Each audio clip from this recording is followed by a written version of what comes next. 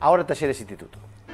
Duelo cordobés en el Kempes. ¿Quién manda en la docta? Todos lo sabemos. Dice uno de los trapos de talleres, el más grande de Córdoba. Todos los celulares preparados para grabar la salida de los equipos. Barco impactante en el estadio con las dos hinchadas presentes. ¿Es un clásico esto?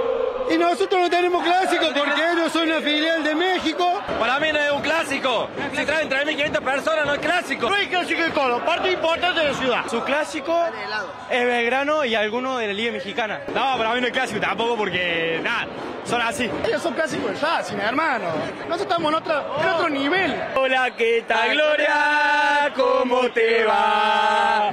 Desde la norte te saluda tu papá.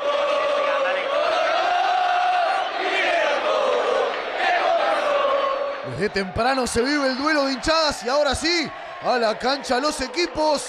Impresionante el marco con los celulares y con la pirotecnia, por supuesto. Ya con el partido en juego, la gente de la T sacaba ese lindo trapo y en 20 minutos la primera polémica. Pelota para Benavides, va al piso al arcón, penal, dice Yael Falcón Pérez.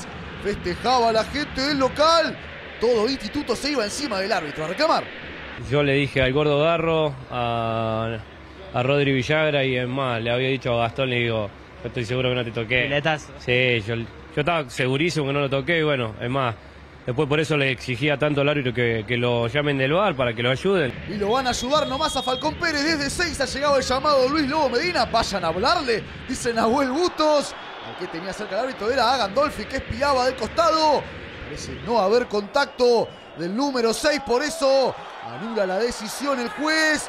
Festeja la gente de la gloria, no hay penal. Responden, por supuesto, desde la tribuna de Talleres. Y en 37, otra polémica más después de un córner. La vuelve a meter Lodico, pega la pelota en mantilla. Todos pedían mano del colombiano. Pero Falcón Pérez dice claramente, no es una mano de penal. Se leían perfectamente los labios del árbitro, que estaba en lo cierto. 0 a 0 continuaba el partido, muy pocas llegadas de peligro. En 45 minutos este remate de Ortegoza que se va desviado y por arriba. Cara de este hincha lo dice todo de fútbol, había poco. Se jugó como un clásico, ¿no? Había clima de clásico, eh, se peleó de esa manera. Fue un partido eh, muy luchado, muy trabado. Creo que se jugó poco. Sin duda que se jugó poco. El show de la noche estaba en la tribuna, las luces en el entretiempo y las bengalas de la gente de instituto, mientras que en la cancha mucho de esto, rispidez, choque de cabezas de Parnizari con Bustos. Atención del paraguayo Riveros que prueba de media distancia, controla Rofo y un rato después, otra vez, desde el mismo lugar remata. Se movía la red, por eso algunos hinchas de la telo gritaban, pero se iba fuera esa pelota. Y atentos, Rofo apenas se va, se levanta y le pide a Falcón Pérez que lo banque, que le tiene que decir algo, para para un poquito. Y le va a decir algo al juez, que le dice, dale, dale, que ya tiraron el córner, claro. Apuraban los de Talleres, tiraban el centro, volvía como loco el arquero. ¡Qué milagro! No terminó en gol esa jugada. Hubiera sido un escándalo total. Rofo le iba a reclamar a Falcón Pérez, que dice que no lo entendió. Casi lo mato a Yael porque no me paró partido, me hizo seña que sí.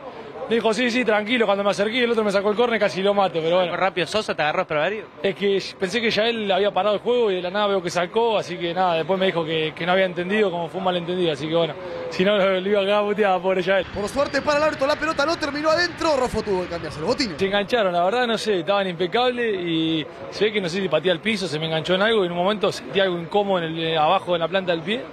Digo, ¿qué mierda tengo? Y se me había abierto el botín, tenía pasto ahí adentro y no, no podía seguir.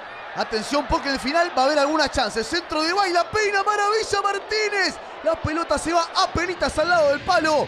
Fue la más clara de la gloria que va a tener otra de un lateral. Graciani, Reasco, otra vez Martínez. No le puede dar dirección al cabezazo. Una para la T. Cinco del final, se lo pierde Tomás Molina. Que no cabecea bien, se va por arriba esa pelota. Pitazo final de Falcón Pérez. Con el gesto va a decir.